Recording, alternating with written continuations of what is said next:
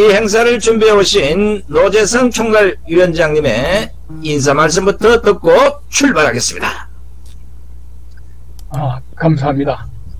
아, 여러 국내외 동포들께서도 어, 같이 느끼셨을 줄 압니다.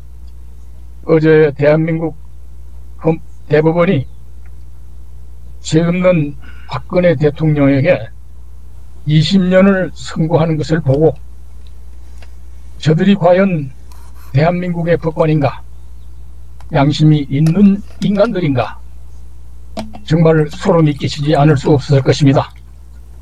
아시는 바와 같이 우리 대한민국은 이제 상권 분립이 무너지고 우법천재 문재인과 그 일당 민주당 반역 세력이 나라를 점령해서 이 나라 운명을 당장이라도 숨통을 끊을 것처럼 달려가고 있는 오늘의 기막힌 현실입니다. 우리 대한민국의 운명을 결정지을 2022년 3월 대통령 선거가 불과 아, 1년 2개월 정도 앞으로 다가오고 있습니다. 그리고 그 중대한 전초전이 바로 지금부터 11주 뒤에 실시되는 서울 부산 시장 선거입니다. 아, 그런데 지금 부정선거 도구가 된 사전투표제, 전자개표제 이걸 그대로 시행되는 선거는 또다시 4.15 총선거와 같이 부정선거를 당하고 말 것입니다. 이 제도를 그대로 두고는 선거를 해봐야 소용이 없다는 것입니다. 국내 동포 여러분, 이제 불과 10주 앞으로 다가오는 서울시장, 부산시장 선거, 그리고 그 바로 다음에 있을 선거가 바로 대통령 선거입니다. 우리의 이 애국 지사들의 이 발언을 통해서 우리 국내의 동포들이 정말로 이 다시는 사전 투표제와 전자개표제를 이용한 이 문재인 민주당 이 반역 세력의 부정선거를 당하지 않아야 되겠다는 결의와 다짐과 방안을 강구하는 이 화상 국내의 국민 총궐기대가 됐으면 좋겠다는 일념밖에 없습니다. 앞으로 매주 한다 하더라도 한열번 하면은 이제 부산 서울시장 선거가 되는데 정말로 가슴이 막힙니다. 오늘 이 모임을 통해서 뭔가 숨통을 튀는 놀라운 기적이 일어날 것을 기대합니다. 감사합니다. 네, 고맙습니다. 아유, 우리 저 노재성 위원장님의 인사말 참 대한민국 현실을 보면 다 가슴이 찢어지죠. 고맙습니다. 자, 그럼 오늘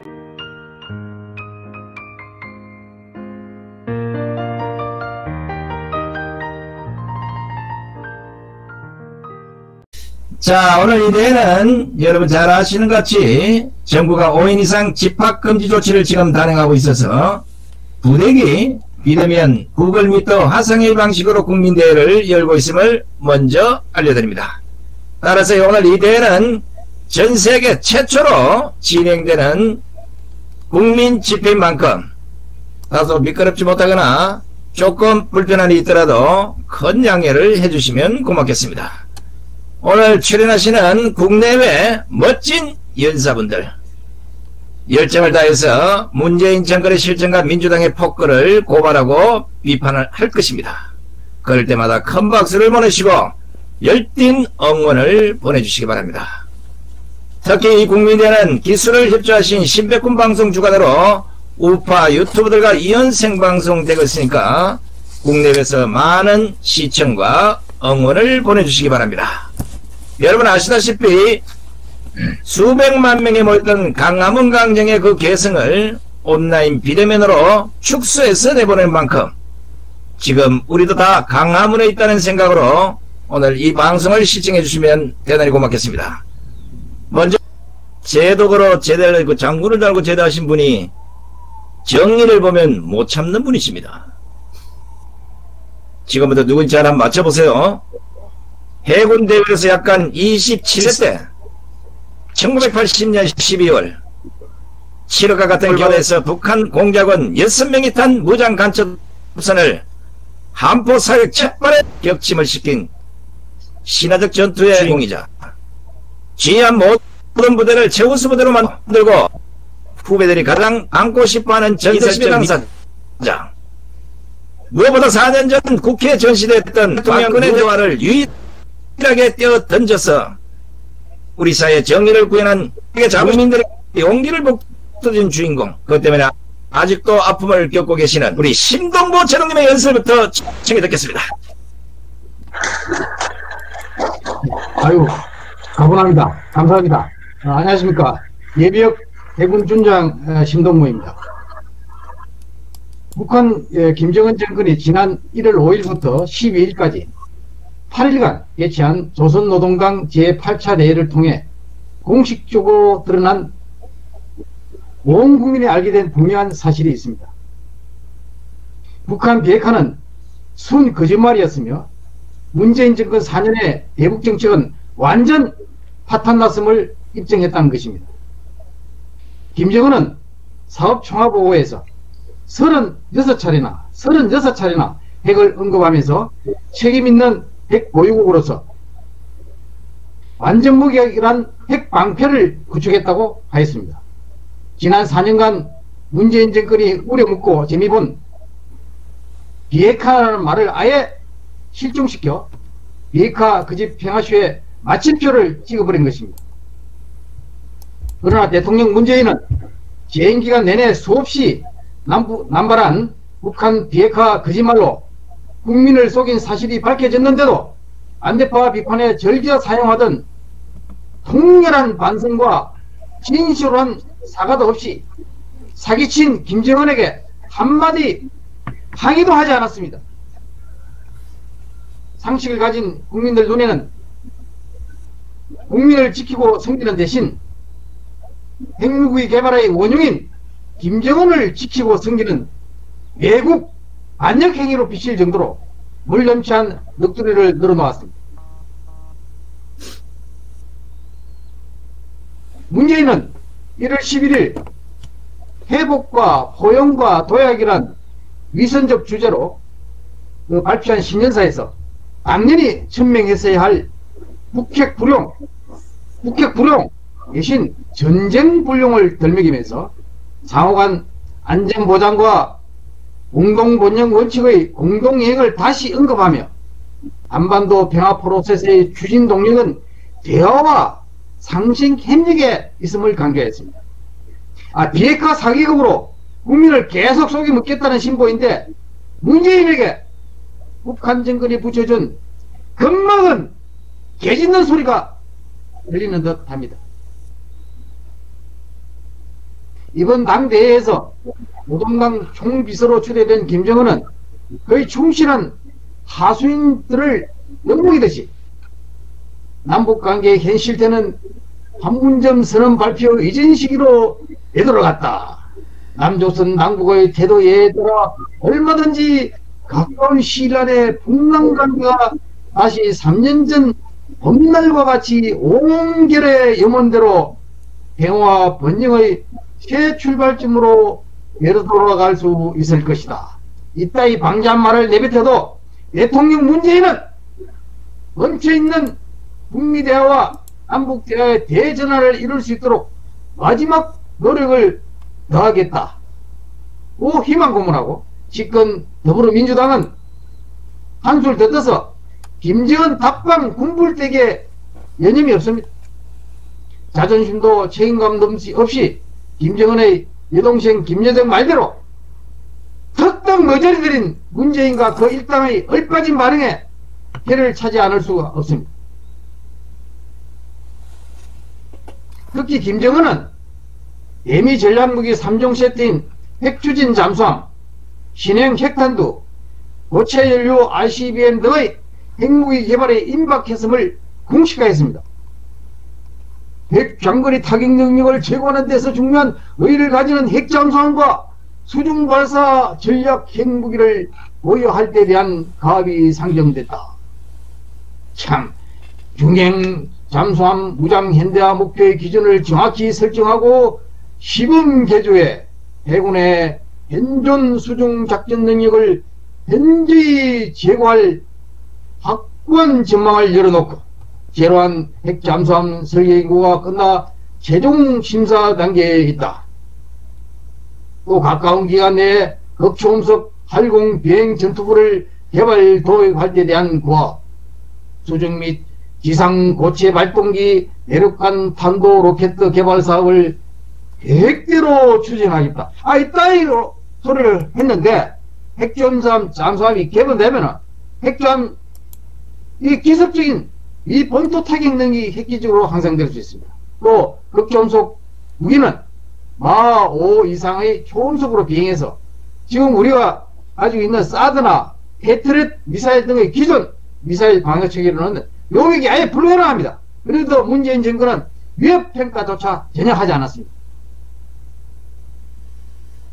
요하여 김정은은 한국군 재래식 무기의 질적 우위를 소멸시키기 위해서 전술 핵무기와 순항 미사일, 정찰 위성 및 무인기, 진행 전차 등 재래식 신무기 개발을 동원하고 또다시 역사적인 2017년 11월 대사변 이후에도 핵무력 고도화를 위한 투쟁을 멈춤 없이 줄기차게 영도하여 거대하고도 새로운 승리를 쟁취했다.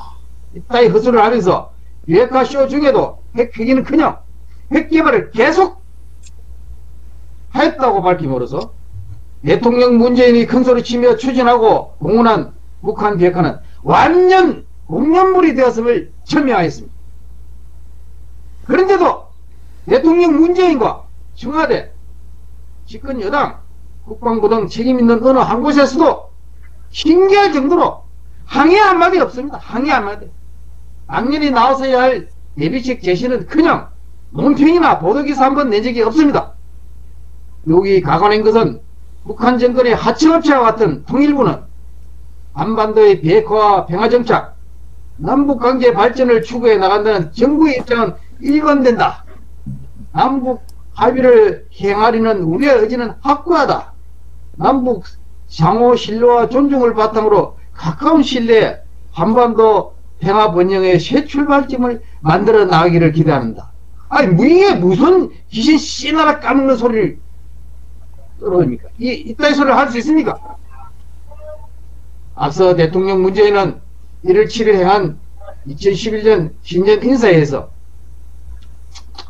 여건에 허용한다면 한반도의 비핵화와 항구적 평화, 남북관계의 발전을 위해서도 마지막까지 노력을 기울일 것입니다.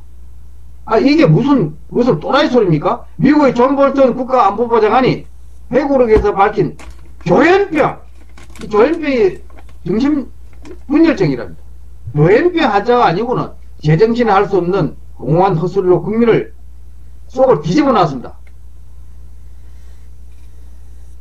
북한 핵을 개발한 적도 없고 개발할 능력도 없다. 만약 북한 핵이 개발된다면 제가 내가 책임지겠다. 또 북한은 세제 안전을 보장받으면 핵 개발을 포기할 것이며 누구를 공격하거나 테러를 위해 핵 개발을 한다고 단정할 수 없다.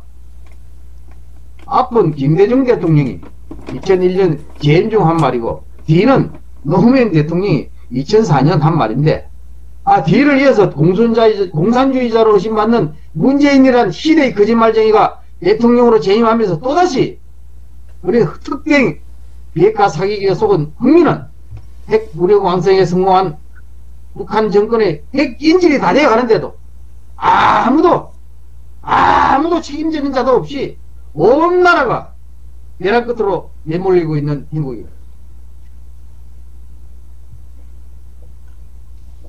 1962년 쿠바 핵미사일 위기 당시 쿠바 봉쇄를 선언한 당시 미국의 케네디 대통령이 국민과 소련을 대상으로 연설한 담화 일부를 인용하면서 제 강의를 마치겠습니다. 미국은 소련이 쿠바 핵 미사일 기지 완공을 강행할 경우 선전폭으로 간주할 것이며 3차 대전도 불사할 것입니다. 쿠바에서 발사된 핵미사일이 서반구에 있는 어떤 나라를 공격하도록 미국에 대한 소련의 공격으로 간주하고 전면적인 보복 공격에 나설 것입니다.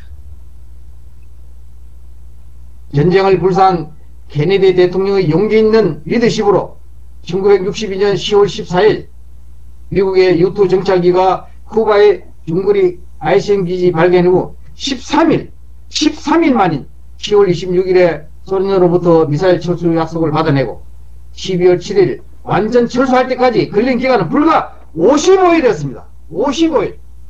그러나 우리는 1994년 1차 북핵 위기 이후 27년을 지었대죠. 대개는 그냥 안전 55 관련 약속을 찾을 수 없습니다.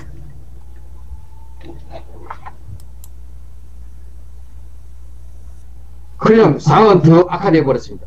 처음부터 핵무기 폐기 생각 없이 전략적 기만으로 일관한 북한 정권에 대한 오인식과 확정 편향에 빠진 무죄하고 나약한 문재인 반역 정권에 의해서 온 국민이 북한 핵의 인질 처지가 되어버렸는데도 문재인 반역 미국 정권과 북한 핵을 용납해서 되겠습니까?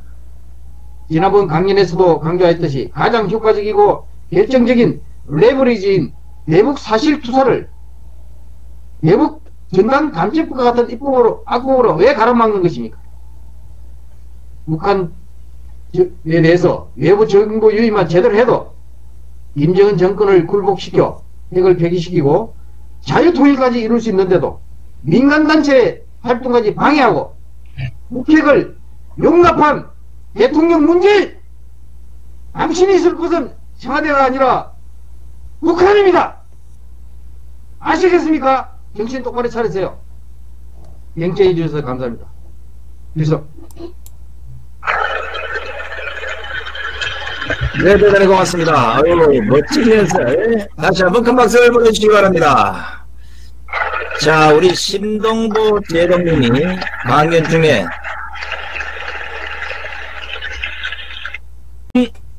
얼마 전에 제가 뵙고 왔습니다마는 망해져가는 자유 대한민국을 지키기 위해서 누구 봐도 진짜 앞장서시는 우리 탈북 여성으로서 이게 바로 애국심이다. 몸소 보여주고 계신 우리 탈북 여성희로 박사 이해란 박사님의 연설을 박수로 챙겨 듣겠습니다. 왜 저를 이렇게 먼저 부르시는 거예요? 예. 네, 감사합니다. 여러분 반갑습니다. 예, 저는 탈북자입니다. 탈북자로서 지금 무너져가는 대한민국의 이 현실을 저의 실생활과 결부해서 말씀을 좀 드리도록 하겠습니다. 저는 이 문재인의 코로나 정치 방역이 자유시장 경제를 완전히 파괴하려는 공산주의 완성 공작이라고 바라보고 있습니다. 예, 저는 말씀드린 바와 같이 탈북자이며 사단법인 자유통일문화원과 어, 능라밥상 이라는 식당 그리고 통일약과를 만드는 자그마한 영세업소의 사장입니다. 저는 24년 전에 탈북해 왔고 그때 대한민국이 정말 천국인 줄 알고 깜짝 놀랐습니다. 북한에서 대한민국에 대해 온갖 나쁜 선전만 듣고 살다가 한국에 와서 살면서 보니까 세상에 이렇게 좋은 나라가 한반도의 남쪽에 있다는 사실에 정말 감동받았습니다. 그리고 김씨 공산주의 왕조 봉건 왕조에서 어렵게 살고 있지만 언젠가 북한 땅에도 이런 나라를 세울 수 있다. 그리고 이 북한 주민들에게 보여줄 수 있는 희망의 청사진이 있다고 생각했기 때문에 정말 고마웠습니다. 그래서 정말 열심히 싸워서 북한 주민들에게 대한민국 같은 그런 나라를 만들어서 북한 주민들도 풍요를 누리며 인간다운 삶을 살게 될 수 있게 하기 위해서 간절히 기도했습니다. 세상에 인간으로 태어났지만 김씨 공산주의, 봉건 노예 왕조의 노예가 되어서 인간다운 삶이 무엇인지조차도 모르는 채 살아가고 있는 북한 주민들에게 자유대한민국은 꿈속에서도 꾸려볼 수 없었던 천국이고 이상향입니다. 그러나 대한민국에 온 지 24년째 되는 요즘 저는 20년 동안 살았던 대한민국이 너무나도 낯설고 대한민국의 미래가 북한에 복음 가는 곳으로 전락할 것 같아서 걱정이 태산입니다. 지난 5일은 월급날이었는데요. 저는 아침 일찍부터 어떻게 하나 모자라는 돈을 채워서 월급을 줘야 되는데 돈이 없기 때문에 고민이 너무 많았습니다. 요즘 경영상의 어려움 때문에 고통당하는 사장님들이 너무나도 많아서 아프니까 사장이다. 이런 유행어와 사이트까지 등장했다고 합니다. 모자란 월급을 채우느라고 이리 굴고 저리 굴고 재료비도 어, 밀리고 월세도 밀리고 이렇게 이제 있는 상황에서 겨우겨우 월급을 맞춰서 주고 나니까 머리가 땡해지면서 앞이 핑 도는 느낌이 들었습니다. 아마도 이런 고통을 느끼는 사람이 저만 아닐 거라고 생각을 합니다. 오늘도 저희 던- 단골 손님 한 분이 식당 문을 닫지 않았느냐고 문의 전화를 해왔습니다. 지금 서울에 대로변 건물 대부분이 임대 문의를 내걸고 있고 규모와 역사를 자랑하던 수많은 대형 음식점들이 줄 폐업을 하고 있습니다. 절벽 끝에 몰린 사람들은 고통을 견디지 못하고 세상을 한탄하면서 스스로 생을 마감하는 상황이죠. 코로나로 인한 사망자보다 경제난으로 인한 자살자가 4배나 더 많다는 세간의 소문이 정말 사실이 아니기를 간절히 바랄 뿐입니다. 12월에 접어들면서 방역 단계를 더 올리고 4인 이상의 집합을 금지하는 사회적 거리두기라는 세상에 들어보지도 못했던 이상한 방역 규정 때문에 텅 빈 식당을 버리지도 못하고 그냥 지키지도 못하는 상황에서 월급을 안 받고라도 출근하겠다는 탈북 여성 직원들의 협조에 정말 감동을 받았습니다. 그래서 월급 절반이라도 주겠다고 하고 한 달을 버텼습니다. 아무리 종업원들이 월급의 절반만을 받고라도 폐업을 막자고 말했지만 하루 종일 허리 펼새 없이 일한 사람들에게 차마 월급의 절반을 지급할 수는 없지 않겠습니까? 모자라는 돈을 채우려고 이리 뛰고 저리 뛰고 그렇게 뛰어다녀서 겨우 긁어 모아 월급을 맞춰냈지만 이제 쏟아져 들어오는 재료비 구입, 카드비, 보험료, 부가가치세 이런 공과금을 비롯한 여러 청구서들을 생각하면 정말 눈앞이 아찔해져서 서 있기조차 어려운 형편입니다. 국가가 일을 할 수 없도록 이렇게 압박을 하면서도 무슨 보험료는 그리 더 비싸게 책정을 하고 세금은 왜 그렇게 많은지 정말 한숨이 아니라 한강 같은 눈물이 쏟아져 나옵니다. 그리고는 이렇게 뜯어내서 모은 돈을 자기 돈도 아니면서 물은에 달래듯이 몇 푼씩 던져두면, 던져주면서 인기머리를 하고 있는 정치인들을 보면 정말 증오가 치밀어 오릅니다. 이러한 상황은 저만의 일이 아닌 대한민국 620만 자영업자들 누구에게나 마찬가지일 것입니다. 오히려 사회적 거리두기가 오죽하면 사회적 거리두기가 사람들을 거리에 나가게 한다는 한식이 울려 나오고 의정부의 한 부대찌개 집에서는 김치찌개를 만들 배추 살 돈이 없어서 어려움을 겪고 있다는 그런 말까지 나오겠습니까? 그렇게 유명했던 할인각도 폐업했고 강남 우레옥도 폐업했고 한우서라고 하는 유명한 설렁탕 설렁탕 집도 폐업했습니다. 코로나라고 하는 중공 쓰나미가 현재 대한민국의 자영업자들을 모두 거리에 나가게 하고 있고 대한민국을 무너뜨릴 기세입니다.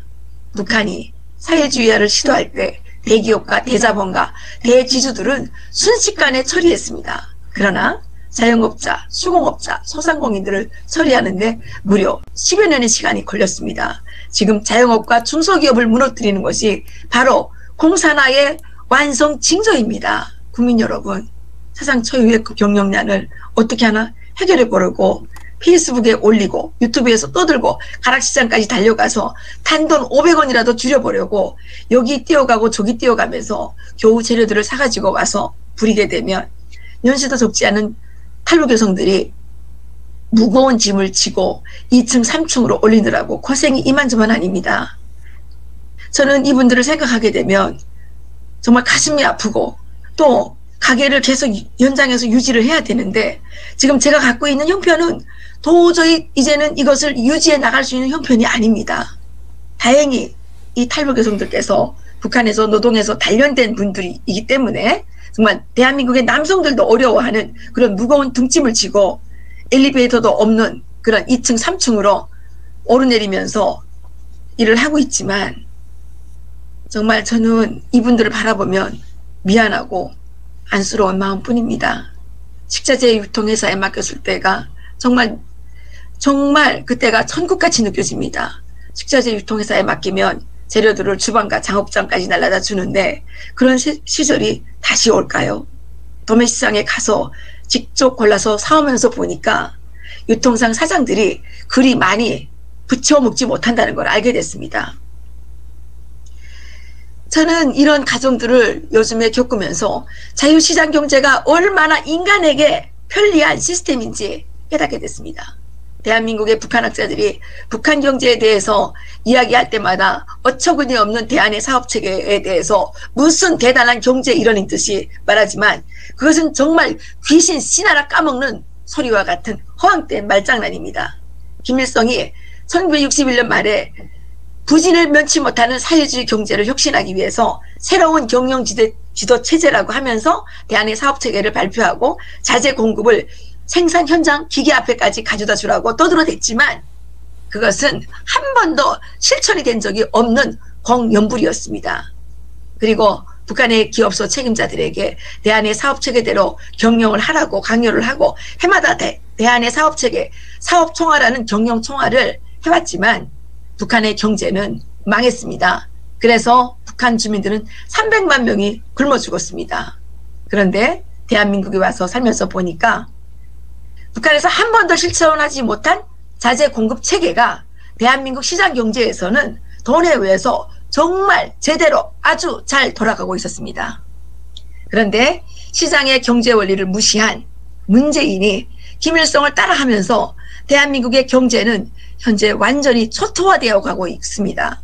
문재인과 그 일당이 그토록 증거하는 자유시장 경제 질서는 서로가 신뢰와 믿음의 기초에서 엮여져 있고 각자가 자신의 이익을 위해 거래 상대방의 이익을 도모해주고 서로 상부상조하면서 이윤을 공유하고 더 많은 이윤을 남겨서 축적하는 자율적인 시스템입니다.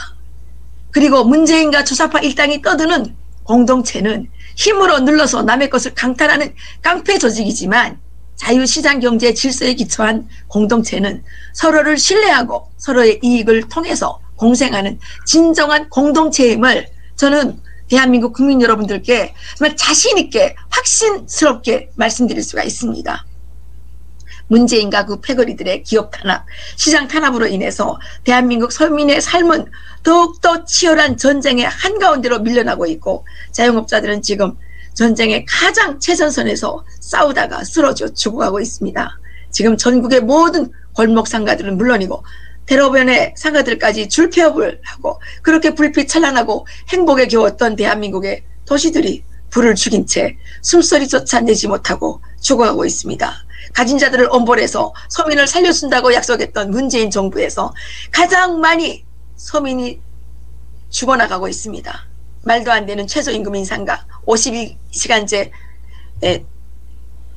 52시간제 로 인해서 영세 상인들이 죽어나가다가 비상식적인 최저임금과 역사상 최초의 사회적 고리두기라는 봉쇄 때문에 이제는 힘께나 쓰는 중대형 가게들도 죽어나가고 있습니다.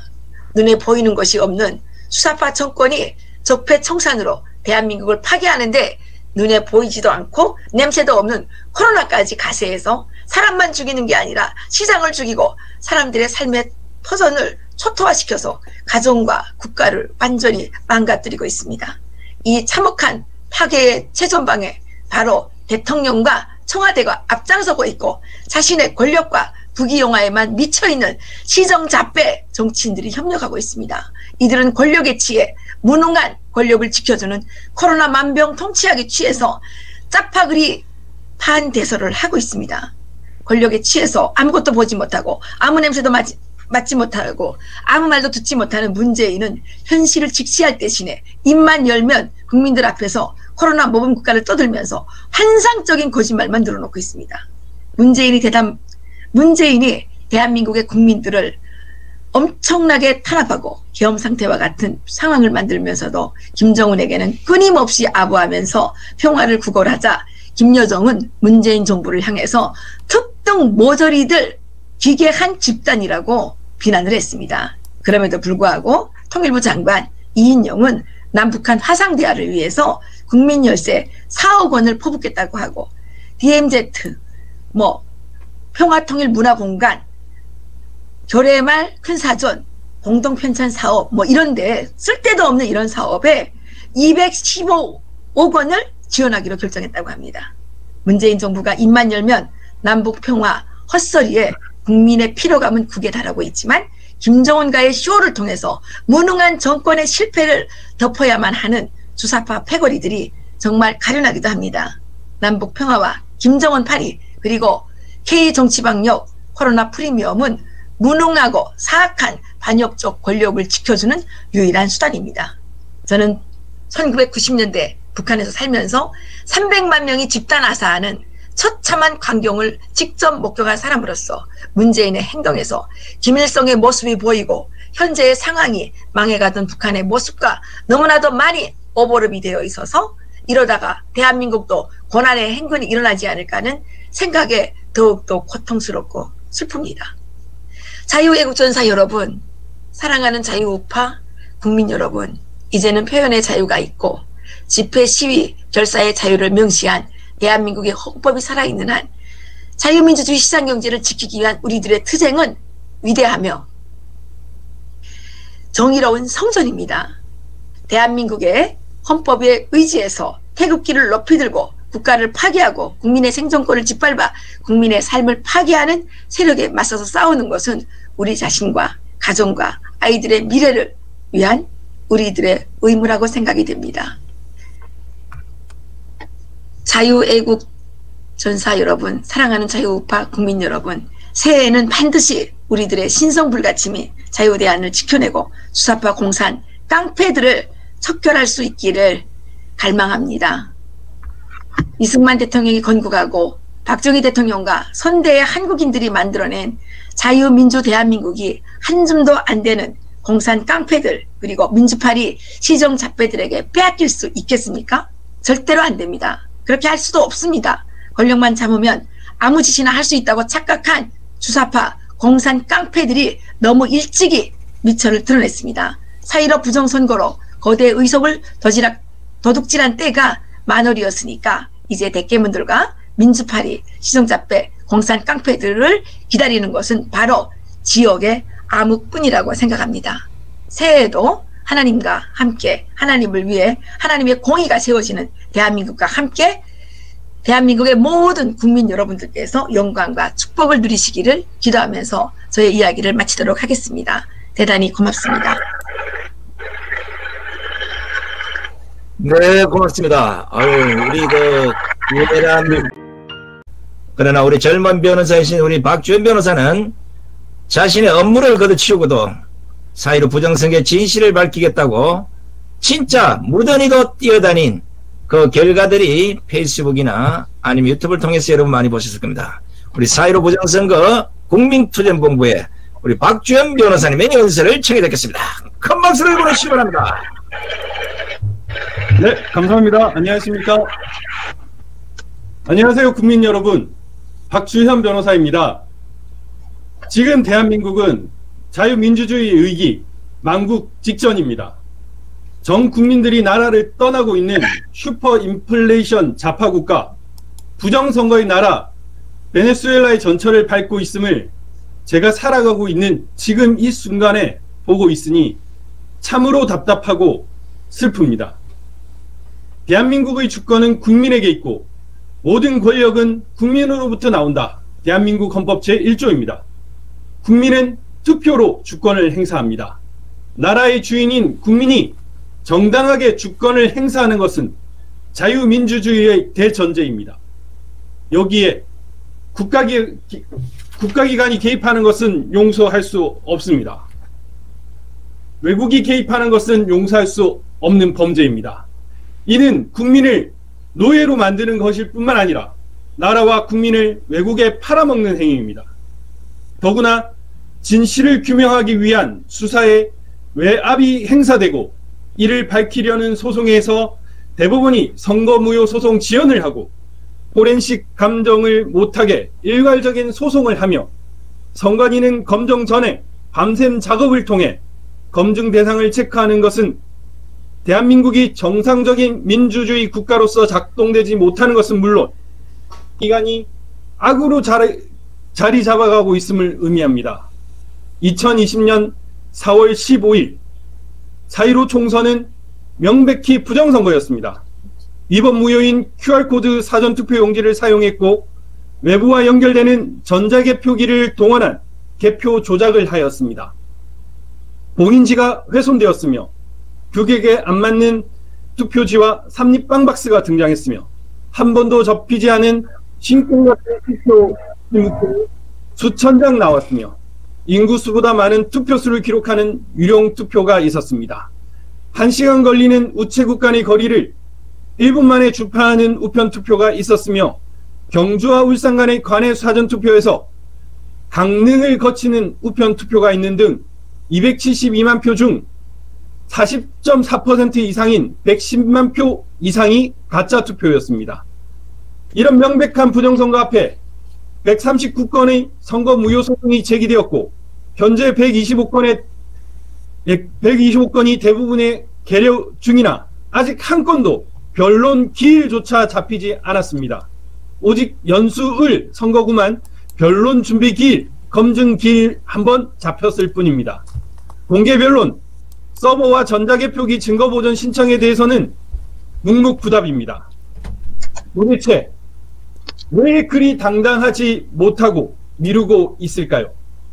바로 너무나 뚜렷한 부정선거를 했기 때문입니다. 지금까지 드러난 부정선거 양상은 실로 놀랍습니다.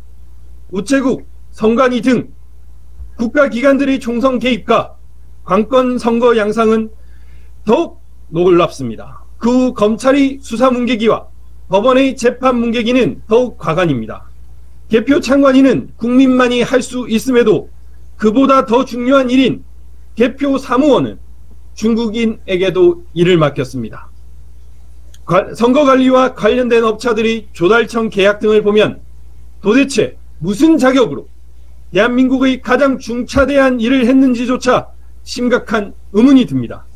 중공이 개입한 부정선거의 공식인 사전투표 여대야가 63대 36. 이 공식은 끔찍한 비극입니다. 고작 빙산의 일각이 드러났을 뿐인데도 문재인 정권 하에 벌어진 부정선거는 경악을 금치 못합니다. 그럼에도 경찰과 검찰 수사는 일절 이루어지지 않고 있습니다. 오히려 부정선거를 외쳤던 국민들을 기소하고 구속하는 지경입니다. 심지어 야당도 침묵하고 있으며 정체성이 의심되는 정치인들은 오히려 선량한 국민들을 매도하는 판국입니다. 국가가 범죄자가 되었으며 범죄자가 선량한 시민을 구속하고 벌하는 심각한 인권 유린이 벌어지는 끔찍한 나라가 되고 있습니다. 정상적인 자유민주주의 국가가 아닙니다. 지금까지 드러난 사실만으로도 지난 총선은 불공정했고 심각한 부정 불법 선거였습니다. 문재인은 최고 수혜자이며 더불어민주당 역시 그 수제, 수혜자입니다. 침묵하는 야당의 국회의원들도 수혜자일 수 있습니다. 문재인 씨와 그 일당들은 지난 총선의 부정, 불법 선거, 불공정, 그리고 그에 대한 검찰의 수사 문개기, 법원의 재판 문개기 등에 대해 책임을 져야 합니다. 우리가 맞이하고 있는 자유민주주의 위기, 망국의 위기에 대해 무거운 책임을 져야 합니다. 대한민국이 처해 있는 이 엄중한 사태에 대해 무릎을 꿇어야 합니다. 문재인 씨에게 요구합니다. 당신은 대한민국의 헌법 질서를 수호할 의지와 능력이 없다고 판단되므로 대통령으로서의 직을 하야 하기를 요구합니다. 대통령으로서의 직을 하야 하기를 요구합니다. 이념은 시민 국회와 부정 불법 선거에 대한 죄를 겸허히 받아들이고 국민과 엄중한 법의 심판을 받기를 바랍니다. 대한민국이 더 이상 헤어날 수 없는 늪으로 빠지지 않도록 결단을 서둘러 주시기 바랍니다. 부정선거의 수혜자인 국회의원들에게 요구합니다. 당신들 역시 대한민국 역사와 헌법 아래서 부끄러운 자들입니다. 부정선거의 수혜자인 국회의원들에게 요구합니다. 당신들 역시 대한민국 역사와 헌법 아래서 부끄러운 자들입니다. 스스로 제21대 국회의원 총선 무효를 선언하시길 바랍니다. 그리고 제21대 국회에서 쏟아낸 온갖 악법들을 무효화하기 바랍니다. 부정선거가 종속하는 한 국가가 정상적으로 운영될 수 없습니다. 만국, 외국으로 이어질 것입니다. 부동산, 세금, 표현의 자유, 거주 이전, 영업 등 모든 자유권, 재산권은 심각하게 침해받을 것이고 심지어 생명권조차도 위협받을 것입니다. 아니, 위협받고 있습니다. 부정선거로 국민의 대표가 될 수 있기 때문에 민심을 파악할 필요가 없으며 부정선거 때문에 국민의 이익을 반하는 법률과 정책을 끊임없이 만들 수 있습니다. 오히려 부정선거를 돕는 범죄 세력들, 반국가 세력들에게 눈치를 보며 그들의 이익에 도움이 되는 법률과 정책들을 쏟아낼 것입니다. 심지어는 나라를 팔아먹을 수도 있습니다. 지금 중국인들이 서울 부동산들을 쓸어 담고 있습니다.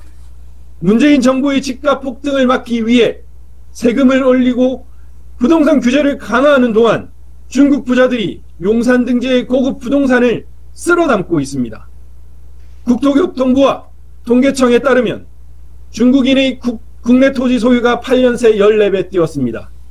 국세청에 따르면 지난 2017년부터 올해 5월까지 총 2만 3,219명의 외국인이 국내 아파트를 구매했는데 이 중 중국인의 구매는 1만 아, 여보세요? 3,573건에 효과음 달했습니다. 하지 말아야겠어요. 매년 엄청나게 오르는 아니고 건강 여기서 보험료로 그, 저, 국민은 고통을 좀 받고 있는데 쳐주세요. 중국인들이 오히려 진짜 박수. 5년간 예, 예. 2조 문자 5천억 원의. 혜택을 받았습니다.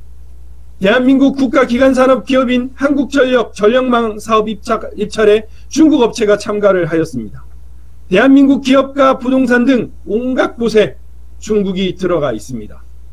문재인은 중국에서 한국은 작은 나라, 중국 높은 산봉우리, 중국몽 어쩌고 하며 대한민국의 국격과 자유대한 국민들의 자존심을 짓밟았습니다. 대통령의 자격으로 중국에 갔으면서도 혼밥이라는 푸대접을 받았는데도 작금의 대한민국에서 중국인들이 자유 대한민국과 자유 대한의 국민들을 침탈하는 것을 방치하고 있습니다.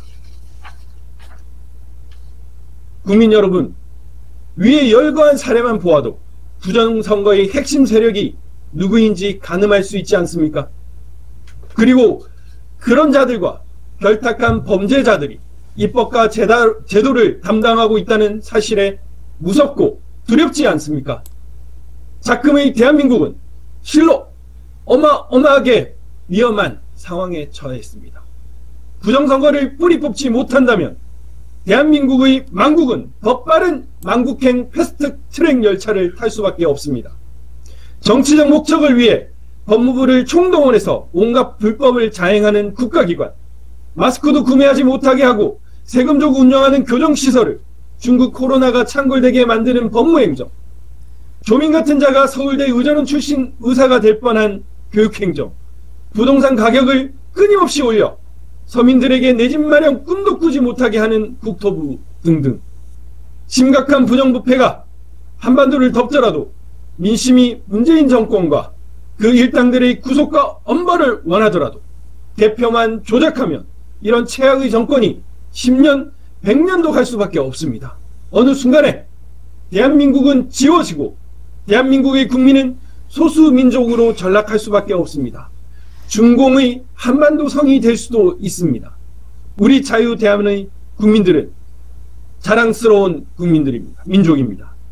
대한민국은 위대한 국가입니다.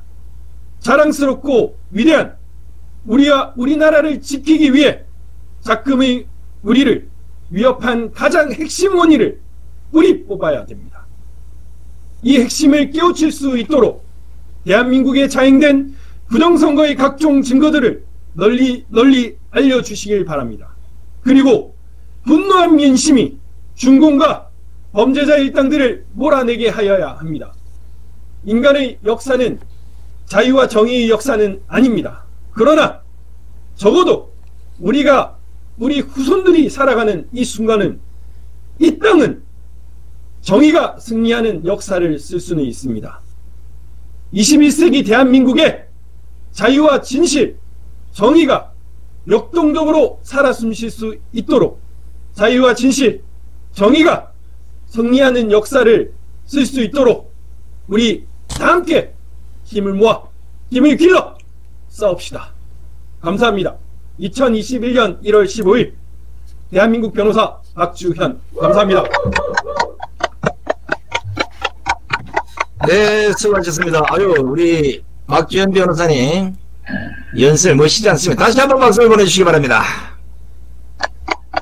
감사합니다. 지금 미국 현지 시간이 새벽 1시 50분입니다.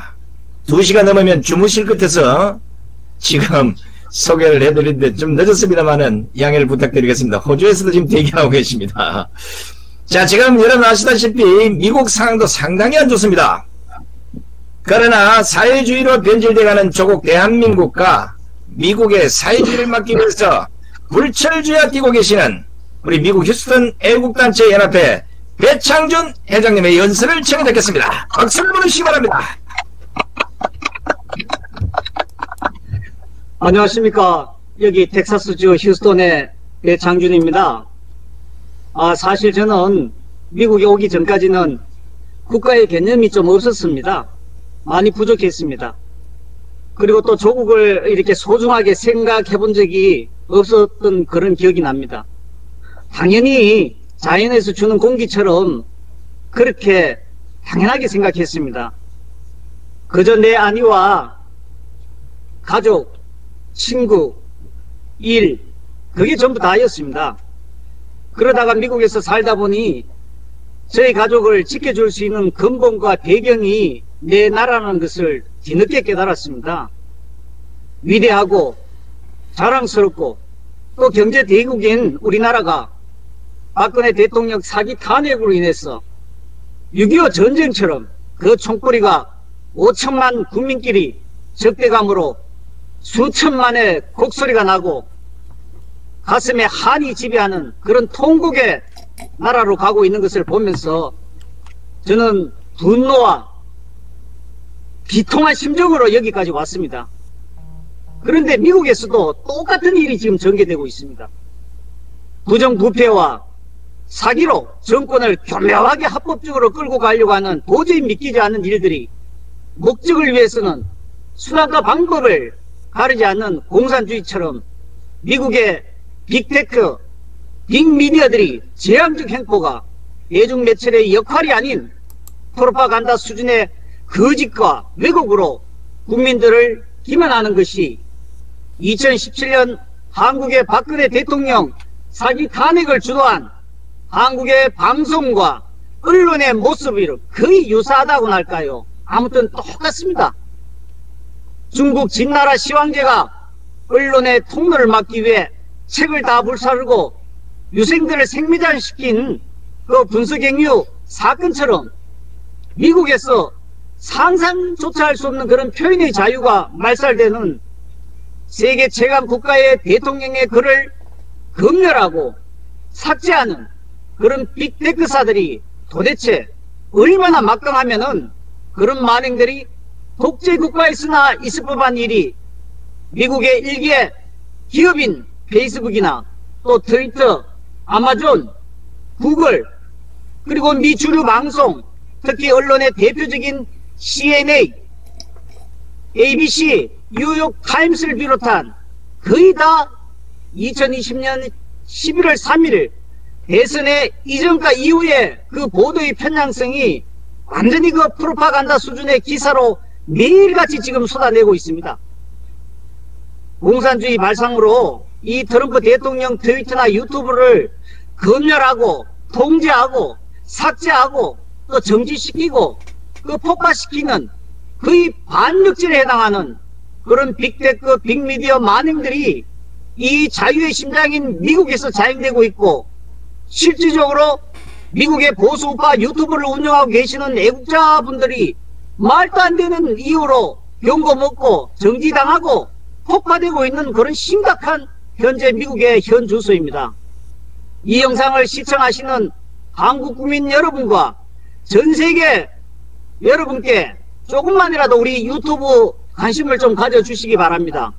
대원이 되어주시고 댓글 달아주시고 좋아요 빵빵 눌러주시고 물론 그분들의 생계를 위하는 것도 맞지만은 그보다 여러분들을 대신하여 여러분과 국가를 위해서 지금 싸워주시는 열렬한 애국자 유튜브들이십니다. 좀 말이 다른데 흘러갔지만은요.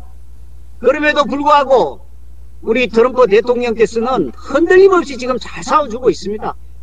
그것은 바로 미국인들의 절대적인 힘을 받쳐주고 있기 때문입니다.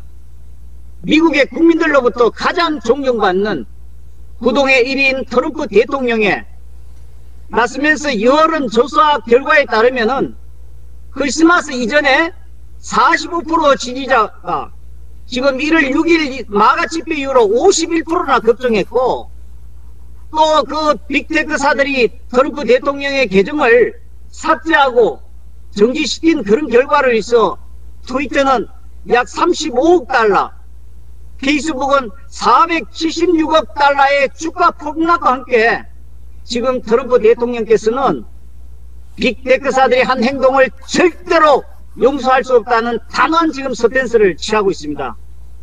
또한 1월 12일 날 맥크린 여론조사 미국의 60%가 트럼프 대통령 탄핵 반대하며 77%가 탄핵보다는 코로나 바이러스에 대처라 또 65%가 바이든과 낸시 펠로시 하원 의장이 국론 분열을 조장한다는 여론조사를 뉴스매스 방송국에서 보도했습니다.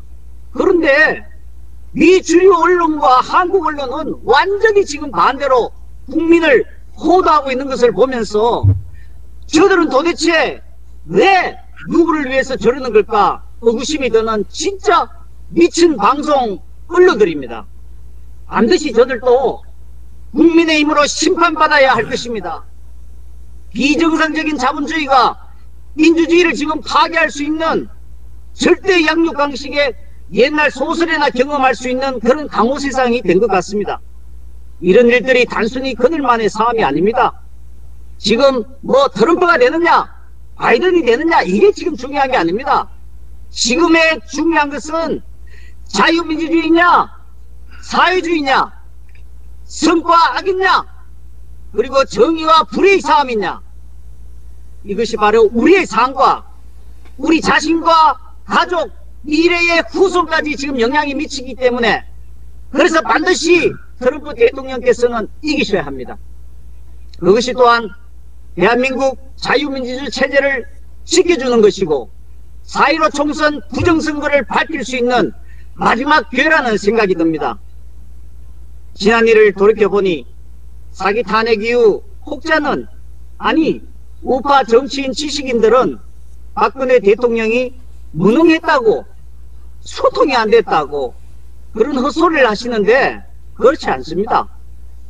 최강의 미국 트럼프 대통령께서도 일개 빅테크사들에게 수모를 당하고 지금 무참히 집회를 피고 있는 거며 상원 원내대표 맥코넬, 잔 로버트 연방 대법원장, 법무부 장관, 국방부 장관, 백악관 스님 변호사, CIA, FBI, 수많은 또 상하원의 그 의원들의 배신과 변절하는 것을 우리가 지금 두 눈 뜨고 우리는 목도하고 있지 않습니까?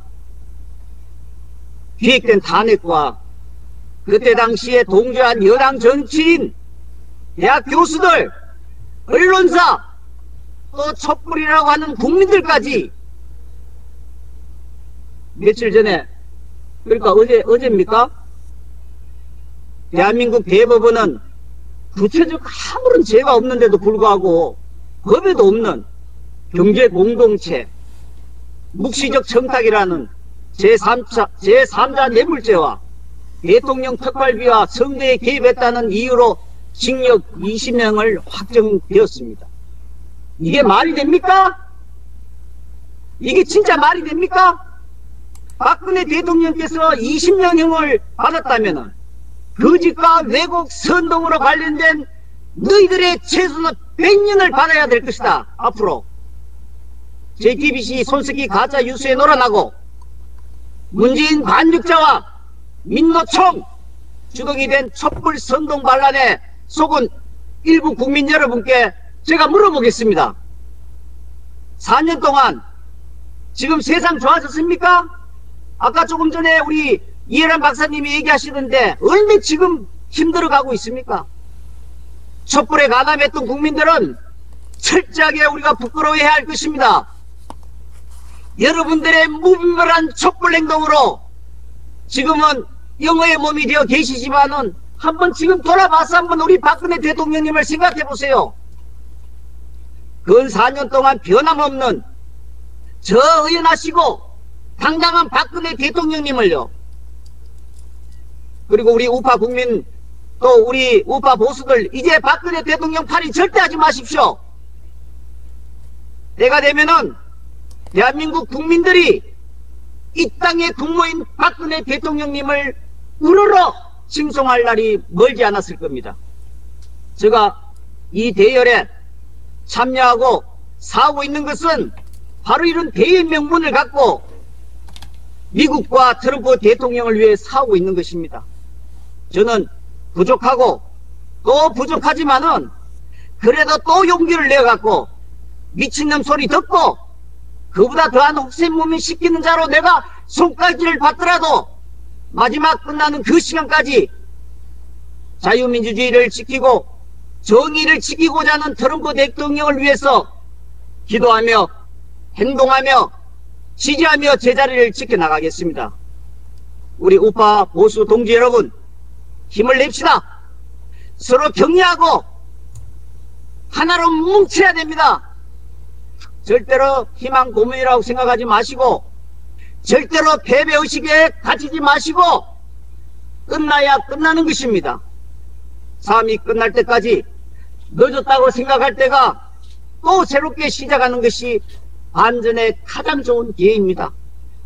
이제는 미국에서도 파이팅 하면은 대통령이든 일반이든 폭력 선동자로 처벌 또는 탄핵시킬 수 있는 세상이 되어버렸습니다. 그래도 저는 여러 동지 여러분들 위해 파이팅 하자고 외칩니다. 그래야 대한민국이 살고 자유민주주의가 사는 것입니다. 파이팅!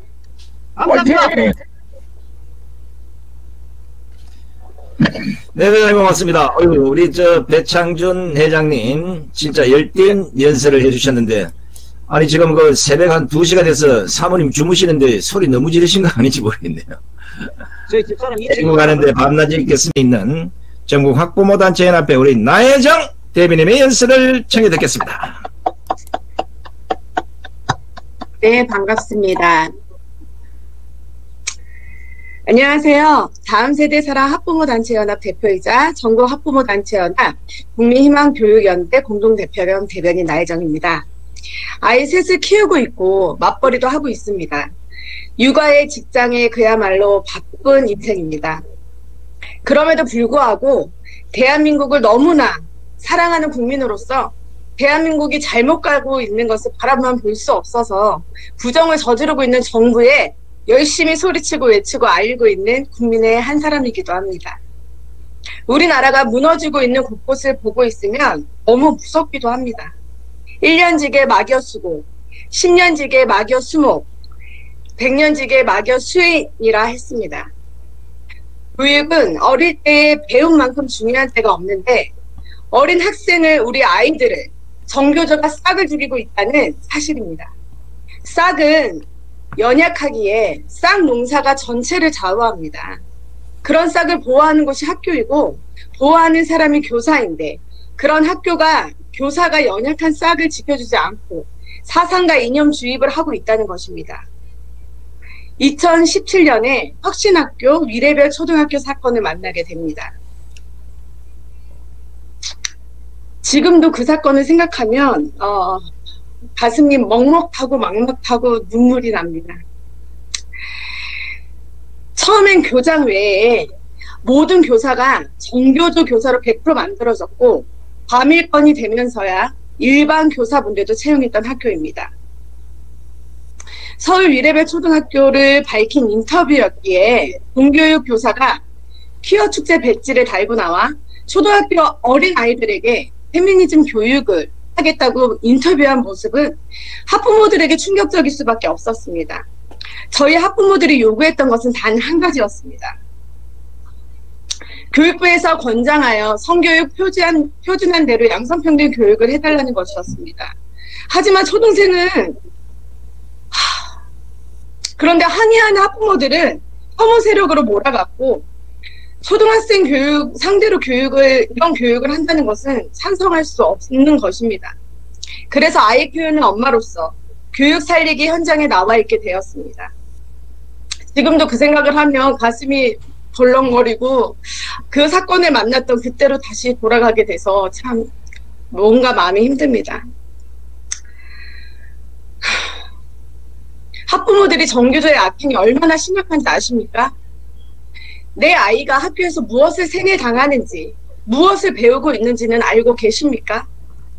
이외에도 정교자가 왜 나쁜 조직인가는 확실한 증거가 있습니다. 정교조, 정교조라고 당당하게, 본인들도 당당하게 말을 할 수 없다는 것입니다. 비밀로 하고 있습니다. 올바르고 당당한 일이라면 왜 숨깁니까? 본인들도 정교조가 당당하지 못하다는 것을 인지하고 있고 인식하고 있습니다. 이것만 봐도 확실한 증거입니다. 정교조라고 본인들이 떳떳이 말을 할 수 있는 교사가 있으면 한번 나와봤으면 좋겠습니다.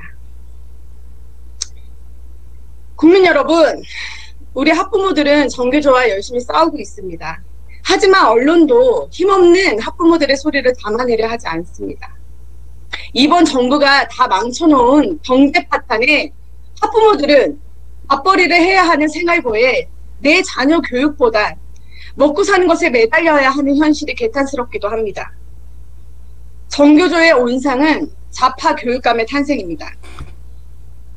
교육감 직선제 도입 13년 동안 교육감 선거는 후보자의 전문성과 교육 철학이 아닌 특정 교육 집단과 조직화 정치 세력에 의해 당락이 좌지우지 되었습니다. 특히 후보 단일화 및 조직, 자금 등 정치공학적 요소는 당락을 결정짓는 핵심 요소인데 교육감 다리 또한 평양된 정치인의 장으로 변질되었고 교육 정책 결정과 집행 과정 역시 이념과 당파성 등 정치적 과정의 산물이 되었습니다. 이로 인해 100년 지대기의 교육의 안전성과 일관성, 예측 가능성은커녕 첨예한 교육적 발등과 엄청난 사회적 비용을 가중시켰습니다. 2022년 대선과 교육감 선거에서 올바른 교육관의 대통령이 선출되고 교육 정치가가 아닌 교육 전문가가 교육감으로 진출하여 우리 교육이 미래로 나아갈 수 있도록 해야 한다고 생각합니다. 모든 국민들이 저와 생각이 똑같다고 저는 장담할 수 있습니다. 우리 교육이 특정 정파와 이념에 경도되어 정치 편향성이 심화되고 국민 다수의 뜻과는 괴리되어 뿌리째 망가지고 있는 작금의 교육 현실을 목도하면서 국민희망 교육연대가 출범하였습니다. 대한민국, 대한민국의 교육의국으로 성장한 배경은 헌법에서 보장하고 있는 교육의 자주성과 정치적 중립성을 토대로 교육 주체인 학생 학부모 교양이 한 뜻으로 교육 발전을 위해 헌신을 다해온 결과입니다. 그러나 교육감 뒷선제 도입 이후 교육이 정치적 도구화되면서 헌법적 가치인 정치적 중립성은 사실상 사문화된 지 오래되었습니다. 정권과 교육감의 이념적 성향에 따라 교육의 실험 대상, 포퓰리즘화되고 정치적 진영 논리에 좌우되면서 그 피해는 고스란히 교육 주체들이 떠안아야 할 멍해가 되었습니다. 우리 아이들이 더 이상 특정 이념 교육에 휘둘리지 않고 바르게 성장할 수 있도록 평양 교육과 학교를 정치화자, 어, 정치장화하는 어떤 시도에 대해서도 강력 대응해야 합니다. 그래서 우리 전하경과 국민희망 교육연대는 교육감 선거에 관련하여서도 준비를 하여야 합니다. 국민 여러분도 공감과 협조 바랍니다. 제발 좌파 교육감 탄생만은 막아야 합니다. 정교조 해체가 답입니다. 우리 아이들 미래가 나라의 미래입니다. 간절한 정말 국민 여러분, 정말 이 간절한 한 학부모로서 그리고 정말 사회 구성의 일원으로서 대한민국의 국민으로서 이 호소를 합니다. 정말 이 호소를 잘 들어주시고 함께 힘을 보태주십시오. 우리 아이 상처 주는 정교조를 해체하자 이상입니다. 감사합니다. 네, 수고하셨습니다. 아유, 연설 듣고 보니까 이 대한민국 교육이 참 큰일 났네요.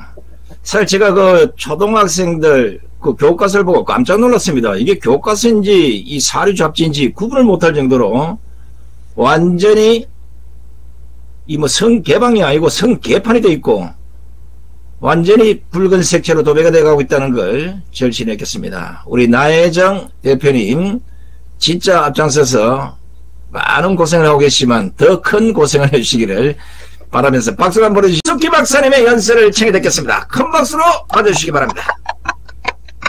안녕하세요. 저는 호주 시드니에 살고 있는 신숙희라고 합니다. 그 어, 연설의 제목은 중국 공산당의 외세 침입과 부정선거 그리고 자유보수 지도자의 교훈과 새 자세라고를 주제로 어, 연설을 어, 말씀을 드리겠습니다. 저는 호주 사는 이민자로 1988년 올림픽 이후 한국인으로 엄청나게 자부심을 어, 갖고 어, 치열하게 다른 어, 이민자들처럼 함께 살았습니다. 그런데 2017년 박근혜 대통령 탄핵이 나면서 저는 제가 다니던 그 대학교에서 제가 영어 영작을 가르치고 있었는데요. 학교 일보다 이 모국의 정치 사태에 더 전념하게 되었습니다.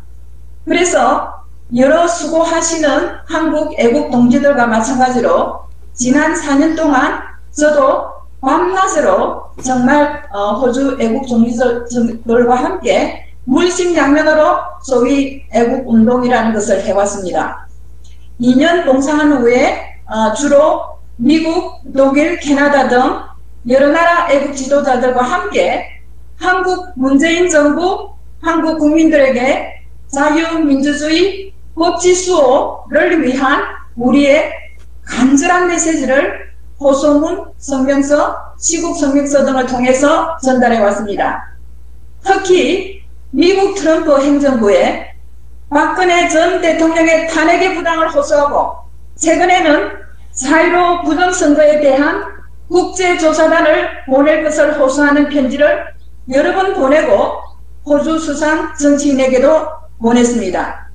가장 최근에는 제가 트럼프 대통령에게 제발 한국의 사이로 부정선거와 탄핵 사태를 어, 보고 절대로 이런 사태가 미국에서는 일어나지 않도록 하라고 이렇게 그 경고를 어, 경고랄까요? 어, 조언을 주는 그런 편지를 보냈습니다. 제가 그런 편지를 보낼 때는 설마 미국에서 한국과 같은 이런 사태가 일어나리라 전혀 상상을 하지는 못했습니다. 그런데 오늘 저희는 어, 이 대회를 통해서 소위 한국 보수 지도자들과 보수 국민에게 절박, 절박한 호소를 드리고자 합니다. 왜냐하면 4년 전 한국에서 일어난 박근혜 전 대통령에 대한 마녀 사냥적 탄핵과 부정선거가 불행히도 미국 대선 과정에서 지금 그대로 일어나고 있습니다. 배창준 회장님께서 이미 말씀하셨듯이요. 그런데 이 세력의 배후는 바로 좌파 민주당 쪽의 기득권 세력과 중국 공산당이 결탁한 소위 deep state라는 글로벌 기득권 엘리트 세력입니다. 이 반역 세력들이 오히려 트럼프에게 프레임을 씌워 그와 자유주권 국민들의 입을 틀어막고 있습니다. 다시 말해 막시스적 전체 공산주의 사회로 이끌고 가려는 그들의 의도와 실체를 이번에 완전히 드러내었습니다. 제가 한 가지 예를 들겠습니다. 오바마 시절에 전 CIA 국장 존 브레넌이라는 사람이 있는데요. 이 사람이 어떤 말을 했느냐 하면 트럼프 지지자들은 잡아서 중국 모택동 문화혁명 시절처럼 공개 망신을 줘야 한다고 합니다. 또 트럼프 지지자들의 정신 개조를 위해 수용소에 가둬야 한다고 주장하고 있습니다. 여러분 제가 거짓말을 하는 것 같습니까?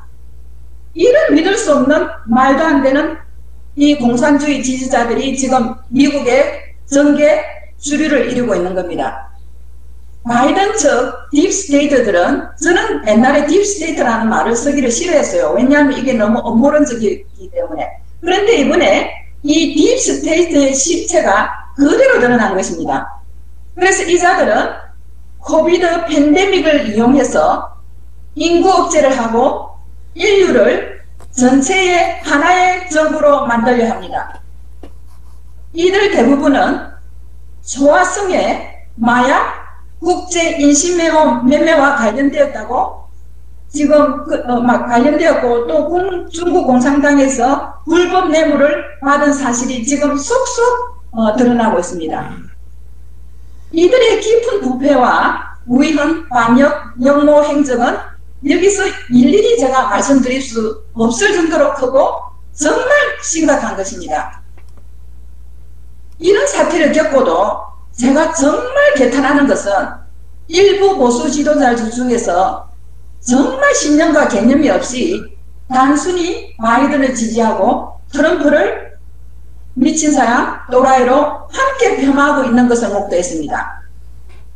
정말 저는 이 보수라는 지도자들이 이것이 정말 문제이고 정말 제가 그 제 유튜브에서 얘기한 것처럼 내부의 적 때문에 무너진다는 것을 정말 똑똑히 얘기를 하고 싶습니다. 저는 오늘 이 기회에 보수 국민이라면 아니 자유와 법치를 사랑하는 분이라면 절대 주관 없이 흔들려서는 안 됨을 말씀드립니다. 우리는 이번 미국 대통령 선거가 바이든이냐 트럼프냐 권력 차지 싸움이 아님을 명백히 알아야 합니다. 바이든은 당선되어서도 절대 안 되는 그런 사람이고 세계 미국을 대표할 자격이 없는 그런 사람임을 분명히 알아야 되며 그런 대통령은 언젠가는 당선이 되어도 반드시 무너짐을 알아야 합니다. 우리는 가치 주권 시민의 이득을 우선으로 하고 보수, 어, 보수적 가치 법치 자유 정의에 선 트럼프를 우리의 지도자로 세우고 따라야 합니다. 이제 미국과 한국 보수들이 연대하여 저 사악한 전체 공산주의 지지 세력과 맞서 나갈 위대한 각오와 대장을 준비하여야 합니다. 보수만 해도 불과 몇 년 전부터 미 중국의 외세 개입에 정부가 정신을 차렸어요. 그래서 해외 세력 영향 방지법, 사이버 테러 방지법 등을 만들었어요. 또한 호주 영토민 주민 국가를 호주 중국 침입에 대비하기 위해서 미국 트럼프 행정부가 밀접한 군사 외교적 관계를 지속해 왔습니다.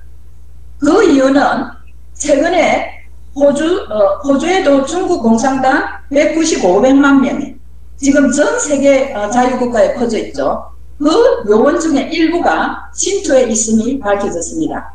ANZ뱅크, 그 다음에 영사, 이런 모든 사람들이 또 대학교에 있는 교수들도 중국 공산당의 맹세, 충성맹세한 서파이란 말입니다. 그런데 우리나라는 제가 생각할 때는 훨씬 더 많은 중국 스파이가 들어가 있으라, 있다고 생각합니다. 그래서 호주에서 이들이 국회의원 컴퓨터를 해킹하고 정치인을 매수하고 심지어 살인까지 하는 일들이 이 호주에서도 일어났습니다. 저 유튜브에서 보시면 다 알 수 있을 겁니다. 더욱이 2019년 11월, 12월에 중국 스파이가 호주 공안 당국에 폭로를, 해, 폭로를 했거든요. 이 사람이 한국 여권을 갖고 있었어요. 한국 여권을. 그래서 이 사람이 폭로에 의하면 중공이 30년 전부터 치밀하게 외세에 침투하여 중국목을 실현하기 위해 한국 및 서방 자유국가에 침투해 있다고 폭로를 했습니다. 제가 알기로는 우리나라가 가장 공자학원이 많고 차이나타운도 지금 엄청나게 춘천에 큰게 세워지고 30개 이상 어, 세워질 계획이라고 들었습니다. 이런 현상은요 완전히 지금 서방 세계가 나가는 그런 방향과 반대되는 것입니다. 지금 호주는 미국도 마찬가지지만 공자 학원이라든지 차이나타운을 철폐하고 있습니다. 그런데 우리나라는 이미 중국에 꽉 잡힌 듯이 보이고 더욱 개탄할 일은 대부분 야당 인사조차 이 사태의 심각성을 모른다는 것입니다. 존경하는 모국의 동지님, 적을 알아야 이깁니다. 이번 미국 선거를 통해 우리는 똑똑히 deep state가 더 이상 음모가 아닌 실체적 악의 집단임을 분명히 보았습니다. 이들은 바로 친중 글로- 글로벌 기득권 세력입니다. 한국, 미국 부정선거는 바로 이들에 의해 사전에 치밀하게 조작되었고 실행되었습니다. 4.15 선거에서 팬데믹을 이용- 이용한 사전선거에서 일어난 부정선거는 정말 증거가 뚜렷한 믿을 수 없는 주권 강탈이었습니다. 우리 국내의 자유 한국 시민들은 지난 11월 3일 미국 대통령 선거 과정에서도 일어난 중국 공산당, 이탈리아, 이란 등 외세 개입에 의한 부정선거를 많은 부인할 수 없는 증거와 함께 똑똑히 목격했습니다. 우리는 1월 6일 미국 워싱턴 국, 국회 의사당에서 상하원 합동회에서 일어났던 믿을 수 없는 위험과 반역 과정을 목격하게 됐습니다. 트럼프는 국회의원들이 단순히 경합주에서 다시 선거 결과를 조사하고 검토하기를 원하는 지극히 작고 이 상식적인 염원을 그날 모인 국민들과 함께 전달하였을 뿐입니다. 그런데 11월 3일 국회의사당에서 아니 11월 6일이죠. 일어난 폭력은 트럼프 지지자들이라기보다는 민주당이 치밀히 사주하에 그의 극좌 지지단체 Antifa라든지 Black Lives Matter 등에 의해서 저질러진 일임이 지금 다 폭로되고 있습니다. 더욱 경악할 일은 이 위원으로 바이든 당선을 밀어붙인 후 민주당 지도자들 낸시 펠로이, 낸시 어, 펠로시, 미셸 오바마 등이 추가되고 언론 주류 방송이 트럼프를 오히려 반역과 선동가로 몰고 있습니다. 호주에서도 또 마찬가지예요. 호주 주류 방송도 바이든이 당선되기 전부터 바이든이 대통령이 당선됐다고 계속 방송을 세뇌를 시켰습니다. 그래서 저는 그 뒤로부터 호주 주류 방송도 보지를 않았어요. 임기 열흘도 남지 않은 대통령을 서둘러서 탄핵하려고 탄핵을 논하는 폭로를 일으키고 있습니다. 이거 믿을 수가 있습니까, 여러분? 또한 페이스북, 트윗을 포- 포함한 빅텍은 트럼프와 그의 측근과 계정을 무자비하게 삭제하는, 삭제하는 언론 자유 침해 폭로를 뻔뻔히 저질렀습니다. 그래서 제가 얼마 전에 성명서도 발표했죠. 그리고 트럼프의 은행들은 트럼프의 그 어, 구자를 전부 다 어, 막아버리고 돈도 어, 이렇게 빌리지 못하게 했다고 합니다. 왜 이렇게 하는 것입니까? 이것은 민주주의의 가장 근간인 표현의 자유를 빼앗아 트럼프와 그의 8,800 팔로우 간의 소통조차 막아버리는 의도입니다. 왜 그럴까요? 왜 이들이 이 짓을 할까요? 바로 부정선거를 덮고 자신들이 한 제약이 드러날까 두려워 막는 것입니다. 저는 이런 행동 자체가 바로 부정선거를 인정하는 반증이며 이것이 바로 전체 사회 공산주의 체제로의 전환을 알리고 친중 글로벌 엘리트가 주권가치 국민을 집합했다는 신호탄을 올린 것이라고 말할 수 있습니다.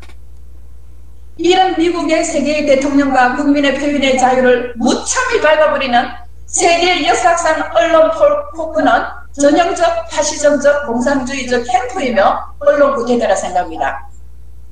이들의 발작적 캠프는 온 자유 시민들을 분노하게 만들고 독일의 메르켈 수상, 호주 수상 모리슨조차 이 현재 민주사회에서 있을 수 없는 언어 폭력이라고 성토를 하고 있습니다. 자유 시민 여러분, 더욱이 한국 탄핵에서처럼 공화당의 배신으로 하원에서 트럼프의 탄핵이 통과되었습니다.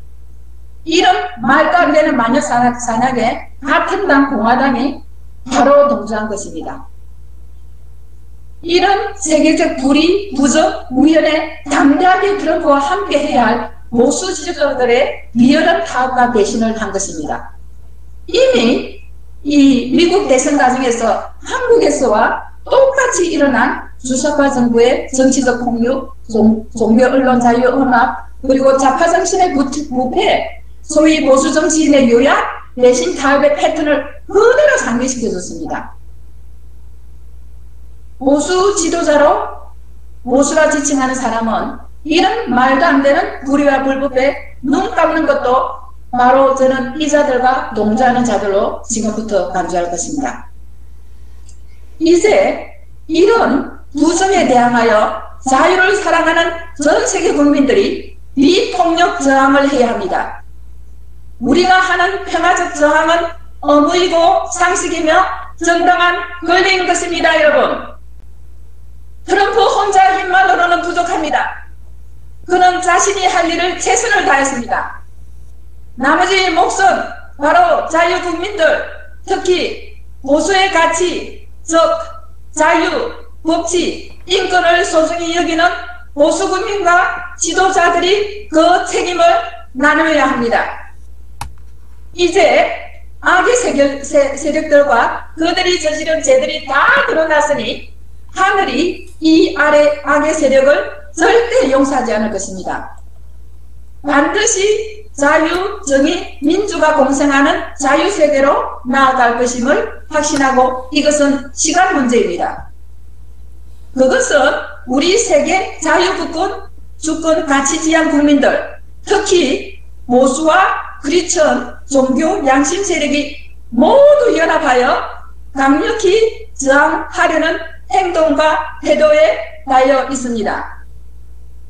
우리가 먼저 진실로 성찰하고 반성하고 각성할 때 저는 어떤 행태든 하늘은 우리나라와 미국이 다시 자유민주국가로 회복될 기적의 마지막 한 수를 두게 허락할 것임을 확신합니다. Make America Great Again, Make Korea Great Again, 파이팅! 감사합니다.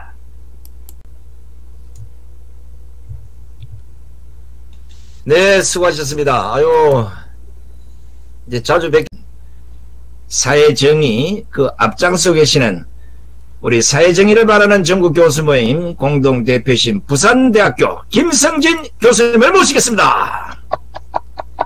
반갑습니다. 방금 소개받은 부산대 김성진 교수입니다.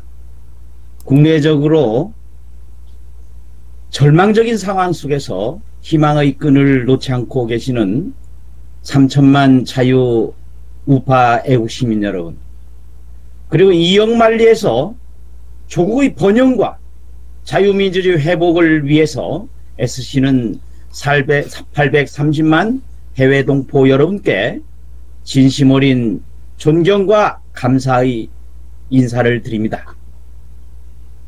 우리는 지난 몇 년 동안 한국과 미국에서 벌어진 끔찍한 종말적 야만을 보았습니다. 한편으로는 사악하고 간교하며 또 다른 한편으로는 부패하고 비겁한 무리들이 저지르는 반문명적이고 비이성적인 행태를 보았습니다. 이제 세계 문명사에 획을 그을 만한 거대한 폭풍이 몰아칠 것입니다. 조 바이든의 취임 여부와 관계없이 이미 전쟁은 시작되었습니다. 방어와 약탈, 폭력적 남동의 뒤에서 선동하고 조정한 자들이 바로 그 사람, 그 전범들입니다. 이것은 거짓과 진실, 불의와 정의, 광기와 이성의 싸움입니다. 잔혹하고 간교한 악령에 쓰인 무리들과의 치열한 영적 전쟁입니다. 세계 공산화의 망상에 사로잡힌 네오막시즘과 마오이즘 수종자들과의 흉포 없는 전쟁입니다. 우리는 아무런 법적 절차도 예고도 없이 세계의 절대적 패권국인 미국의 대통령조차도 그 개정이 갑자기 교란간 해체되는 폐쇄되는 현실을 생생히 보았습니다. 트위터와 페이스북이 트럼프와 그 수백만 지지자들의 계정을 임의로 정지시킨 만행은 잔혹한 스탈린식 피의 숙청입니다. 중세기적 마녀사냥입니다. 십수년간 중국 대륙을 야만의 광풍으로 못 뒤덮으며 수천만 명을 학살했던 모택동의 문화 대혁명 바로 그것입니다. 폴포트 정권의 킬링필드를 떠올리게 하는 반문명적인 범죄입니다. 디지털 시대에는 SNS 계정이 곧 국민권이기 때문에 AI 시대에는 SNS 계정이 인간다운 삶을 유지할 수 있게 하는 물과 공기 같은 존재이기 때문입니다. 미국의 좌파 방송 매체인 PBS의 수석 변호인이자 임원인 마이클 벨러는 공화당 유권자들의 자녀들을 수용소에 가둬서 재교육시켜야 한다는 이런 극단을 극단적인 망언을 했습니다. 미국의 하원 의장 펠로시는 BLM 시대의 폭력성을 비호하고 심지어 배후에서 조종했다는 의혹까지 받고 있습니다. 미국 스카코의 BLM 시대는 상점 약탈이 대수인가? 경찰을 경찰을 해체하라. 이런 말까지 외쳤습니다. 의회 난임과 난입과 기물 파괴를 선동한 것은 오히려 극단적인 반 트럼프 세력이었음이 밝혀지고 있는데도 미국의 주류 언론은 이에 눈 감고 정치인들은 이를 트럼프 지지자에게 덮어씌우건 뒤 이를 빌미 삼아서 탄핵을 진행하고 있습니다. 전형적인 모택동식 기만 전술입니다. 이들은 상식과 이성의 한계를 벗어난 사악한 무리들입니다. 평화를 말하면서 폭력을 이삼고 통일을 내세워 극단적인 내부 갈등을 유도합니다. 소수의 인권을 내세워서 다수의 인권을 말살하며 차별금지라는 미명하에 윤리 도덕을 파괴합니다. 공정을 내세워서 권력과 부를 독점하고 평등과 분, 분배의 수레에 태워 온 국민을 절망과 빈곤의 절벽으로 몰고 가고 있습니다. 공산당의 이른바 통일 전선입니다. 우리는 세월호 참사에 기댄 촛불선동, 흑인 생명이란 이슈로 은폐된 폭력과 방화, 약탈을 기억합니다. 터무니없는 억측과 선동으로 대통령을 파면하고 탄핵하고 파면한 뒤 묵시적 청탁이다. 경제 공통, 공동체 이런 말을 하면서 터무니없는 제목으로 구속 수감했던 것을 생생히 기억하고 있습니다.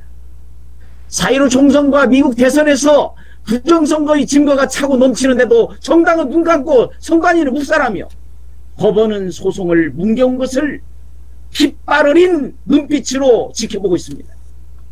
한국과 미국에서 너무나도 똑같은 방식으로 탄핵이 진행되고 너무나도 유사하게 불법 부정선거가 자행되었습니다.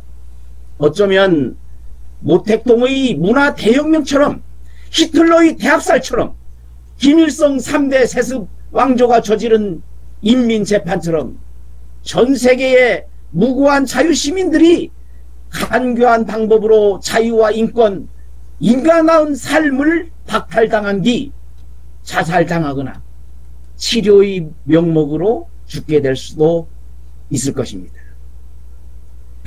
하디칸의 카를로 대주교의 말처럼 미국 자익 정권의 출범은 곧 인류의 대재앙입니다.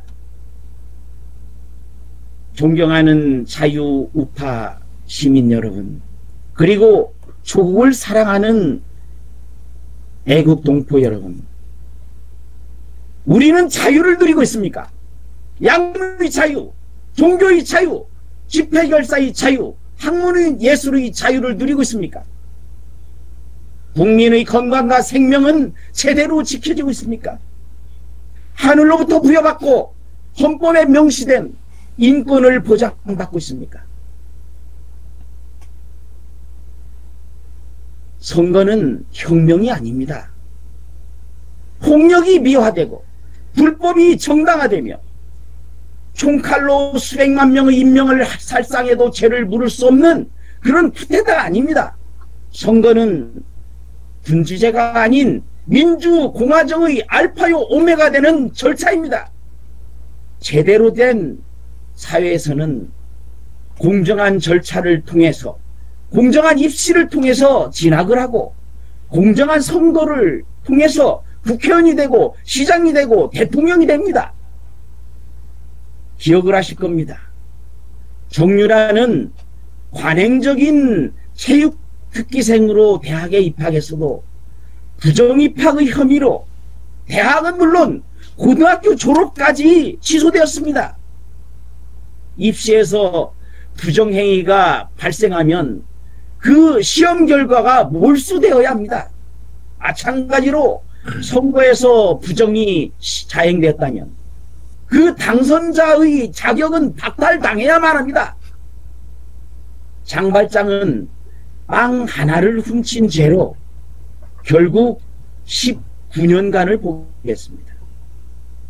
결코 빵 하나와 비교될 수 없는 투표권을 한두 장도 아니고 수십만 수백만을 훔쳤다면 수십 년 수백 년의 징역형을 선고받아야만 합니다.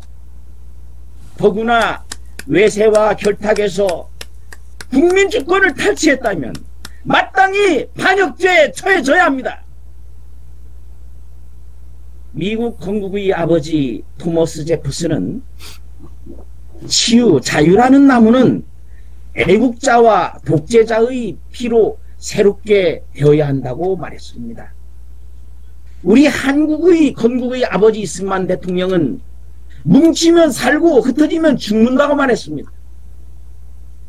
토머스 제퍼슨은 독립전쟁을 승리로 이끌었고 이승만 대통령은 국민의 77%가 무려 77%가 사회주의와 공산주의를 원한다는 그 최악의 정치 환경에서 기적적으로 자유민주주의와 시장경제 체제에 바탕한 대한민국을 건국했습니다.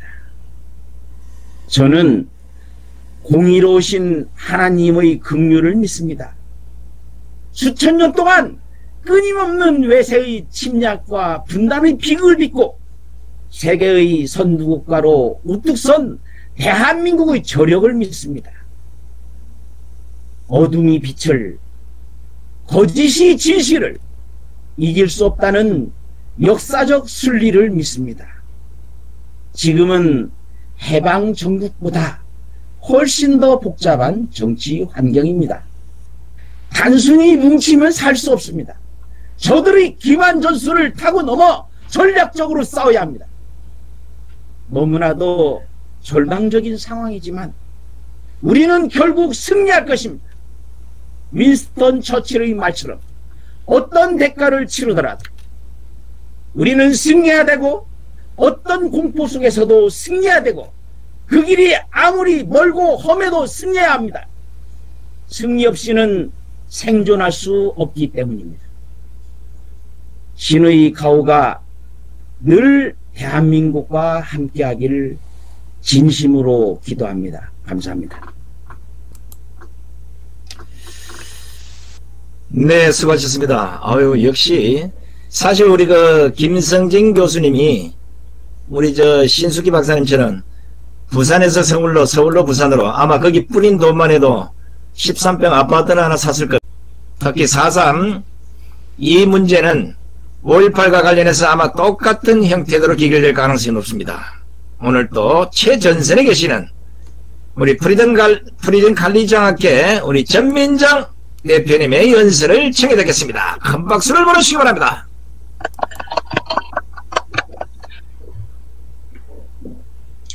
아, 현재 대한민국은 압도적 다수 여당의 전행에 시달리고 있습니다.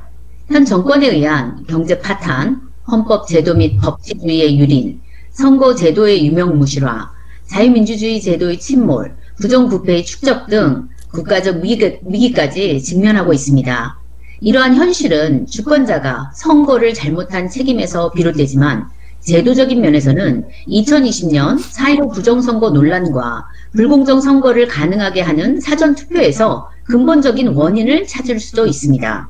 문제 해결을 위해서는 부정선거와 불공정 선거 방지를 위한 사전투표제도 위헌 소송을 제기하는 일이 무엇보다 중요하다고 생각하고 있습니다.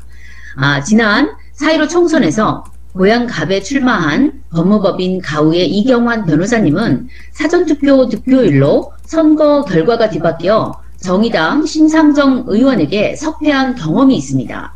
정치 신인으로서 이미 상당한 인지도가 있는 기성 정치인과의 선거에서 선거운동 개시 후 9일 정도의 사전투표를 함으로써 법으로 보장받는 총 14일간의 선거운동 기간을 제대로 활용하지 못했습니다. 따라서 정치 신인에게는 엄청나게 불리한 사전 투표 제도, 어, 후보자의 기본권을 침해, 침해하는 제도라는 취지로 헌법 소원을 준비 중에 있습니다. 저희 프리덤 칼리지 장학회는 대한민국의 미래를 걱정하고 자유민주주의 체제의 수호를 위해 불공정 선거, 부정 선거 문제를 원천 차단할 목적으로 공직선거법 제148조 제1항 사전투표 제도가 위헌이라는 결정을 받아낼 수 있도록 법무법인 가우 이경환 변호사님의 헌법소원 심판 청구에 공동소송인으로 참여하기로 결정했고 또 후원하고 있습니다. 이 사전투표의 문제점을 공감하시는 많은 뜻, 뜻 있는 분들께서 공동소송인으로 또는 후원하여서 이 사전투표 위헌소송에 참여해 주시면 정말 감사하겠습니다.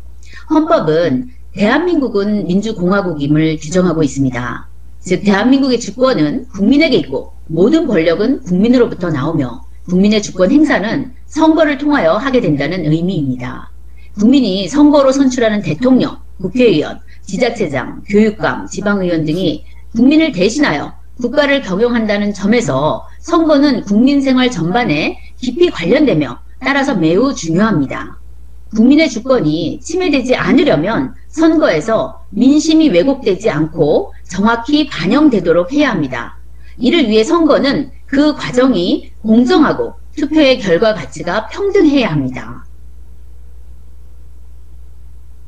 공직선거법상 제148조 제1항 사전투표 제도는 선거일 전 5일부터 2일간 아, 사전투표 기간으로 정하고 있습니다. 이 규정은 기본권을 침해하여 위헌입니다. 그 이유, 이유를 살펴보면 첫째, 사전투표 제도는 14일밖에 안 되는 선거운동 기간을 실질적으로 단축시켜 과잉금지의 원칙에 위반합니다. 사전투표 제도가 선거권 및 민주주의 원리의 구현이라는 목적의 정당성이 인정된다고 할지라도 후보자의 선거 운동 기간을 제한하지 않고도 목적을 달성할 수 있는 대안이 있다는 점에서 선거권과 피선거권 등 기본권을 과잉으로 제한하는 제도라고 할 수 있습니다. 과거처럼 사전 투표율이 부재자 투표처럼 1, 2%에 불과하다면 사전투표가 선거 결과, 결과에 크게 영향을 미치지는 않는다고 볼 수 있겠지만 2020년 치러진 총선의 사전투표율처럼 어, 거의 30% 내외에 이른다면 실질적으로 사전투표가 선거 결과를 좌우하게 됩니다. 이 경우 실질적으로는 선거 운동 기간을 사전투표 시점까지 단축하는 효과가 있습니다. 특히 정치 신인의 경우에 선거운동 기간이라도 충분히 자신을 알리고 유권자로부터 선택받을 권리를 본질적으로 침해당한다고 할 수 있습니다. 둘째는 사전투표 제도는 정보의 불균형으로 인해 선거 결과를 왜곡시킵니다. 동일한 투표 대상을 놓고 사전투표와 본투표일 간의 시간차로 사전투표에 임하는 유권자와 본투표에 임하는 유권자는 다른 정보를 얻게 될 수 있습니다. 사전투표와 본투표 사이에 어떤 사건이나 정보가 새로 발생할 수 있고 그로 인해 본투표에 참여하는 유권자의 결정에 큰 영향을 줄 수 있습니다. 또한 사전투표 후 어떤 이유에서든지 후보자가 사퇴하게 되면 사전투표에 임한 유권자의 표는 사표가 됩니다. 유권자에게 주어지는 정보의 불균형은 평등권에 위반되고 선거 결과를 크게 왜곡하여 국민 주권주의를 침해할 우려가 상당히 높습니다. 세 번째로 사전투표 제도는 부정선거의 온상이라고 할 수 있습니다. 사전투표는 전자개표기를 사용함으로써 부정선거의 우려가 있고 외국의 사례가 이를 입증하며 사이로 총선과 미국 대선에서도 이미 부정선거의 증거가 있습니다. 부정선거 논란을 없애기 위해서도 사전투표를 폐지해야 합니다. 2020년 사이로 총선의 투표 결과에서 불평등한 현상이 뚜렷하게 나타났습니다. 더불어민주당 후보는 사전, 사전투표의 득표율이 본투표 득표율에 비하여 높고 미래통합당 후보는 사전투표 득표율이 본투표 득표율보다 낮다고 합니다. 같은 투표구에서 사전투표율 투표인과 본 투표율 투표인 사이에 지리, 지지율이 다르다는 것은 이해할 수 없습니다. 그것도 수도권 많은 지역구에서 사전투표 평균 득표율이 더불어민주당 대 미래통합당이 63대 36으로 비슷한 수치의 결과가 나왔다는 것은 통계학상 불가능한 일입니다. 이것은 사전 선거에서 부정선거가 있었을 매우 높은 개연성을 보여줍니다. 사이로 총선에서 사전 투표율은 26.69%로 높았습니다. 사전 투표율은 앞으로도 증가가 예상되고 사전 투표에서 선거 조작이 가능할 수 있다는 우려 때문에 우리가 부정선거의 위험을 신속히 제거하지 않는다면 부정한 세력의 장기 집권으로 국가의 위기 상황은 더욱 심각해질 것이 분명합니다. 정리하면 사전투표 제도는 후보자와 유권자의 평등권, 재산권, 선거권, 피선거권, 직업 선택의 자유, 공무 단, 단임권 등 기본권을 침해하고 국민 주권주의에 반하는 제도입니다. 사전투표 제도를 국회 스스로 폐지하지 않는다면 위헌 소송을 통하여 폐지시켜야 합니다. 사전투표 제도를 폐지하고 선거일을 선거운동 기간 종료 후 금요일 또는 월요일로 지정하여 선거를 금토 또는 월 이틀 연속 시행하는 방안 등의 대안을 적극 검토할 필요가 있습니다. 사전투표를 하고 선거일에는 휴가를 보내는 현실은 선거일을 법정 공휴일로 지정한 취지를 몰각하고 있습니다. 국민 주권을 행사하는 뜻깊은 날이 되어야 할 선거일이 부정 논란으로 얼룩져서는 안 됩니다. 민주주의의 꽃이라고 할 수 있는 선거일이 축제가 될 수 있도록 사전투표제도 위헌 소송에 우리 모두 관심과 후원이 필요합니다. 이번 사전투표 위헌 소송에 원고로 함께 참여하실 분이나 또 후원을 해주실 분은 법무법인 가우로 전화로 연락을 주시거나 또 후원 계좌로 후원하여 주십시오. 경청하여 주셔서 감사합니다.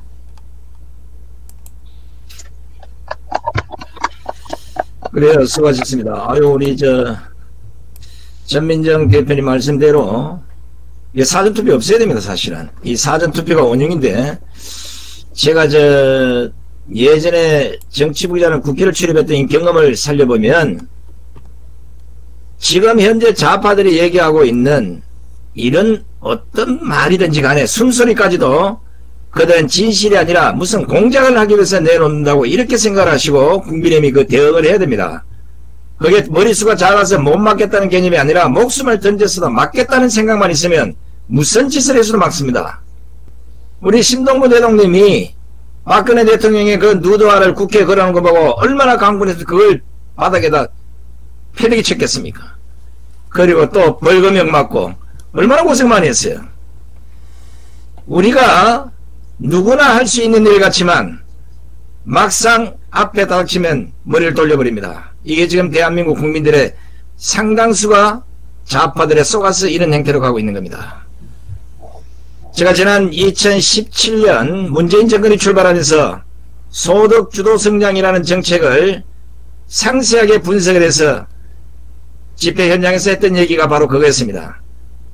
대한민국은 무조건 경제가 망하게 돼 있다. 이걸 알 수 있을 때쯤 되면 대한민국의 도심 곳곳에 임대 딱지가 영하 프로보다 많이 붙을 것이다. 결국 그때쯤 돼야 국민들이 분노해서 스스로 일어날 것이다. 그때까지 밀고 갑시다. 이랬다가 잡혀갔어요.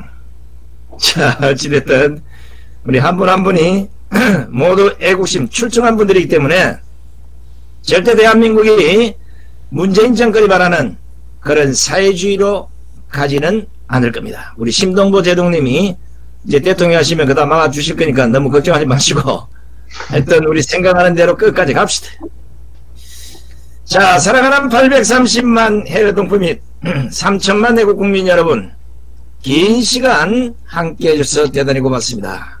많은 연사분들의 연설을 들었다시피 지금 대한민국은 벼랑급 백척간도가 아니라 펄펄 끓는 포항 제철 용광로 바로 앞에 서서 뛰어내리면 흔적도 없이 사라질 운명에 와 있습니다.